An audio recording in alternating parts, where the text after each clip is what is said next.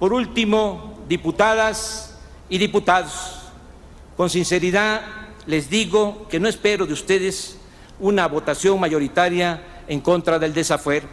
No soy ingenuo. Ustedes ya recibieron la orden de los jefes de sus partidos y van a actuar por consigna, aunque se hagan llamar representantes populares. Ustedes me van a juzgar, pero no olviden que todavía falta que a ustedes y a mí nos juzgue la historia. Viva la dignidad, viva México.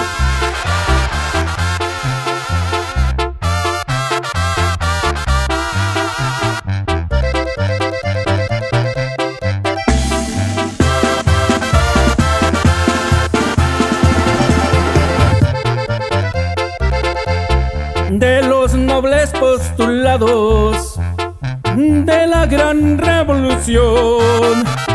Solo Cárdenas del Río, Tata Lázaro cumplió. Después hubo decepción con gobiernos que siguieron, trajeron la represión. Hombres en lucha surgieron Llegó Rubén Jaramillo y surgió Lucio Cabañas.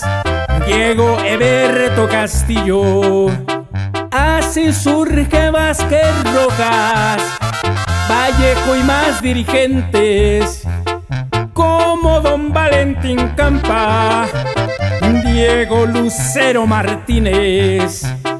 Pablo Gómez y Tames García.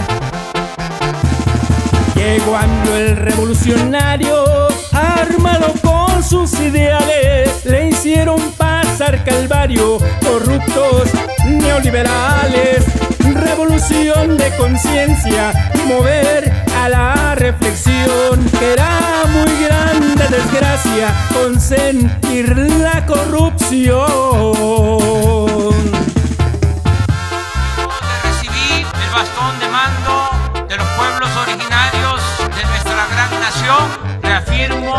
El compromiso de no mentir, no robar y no traicionar al pueblo de México.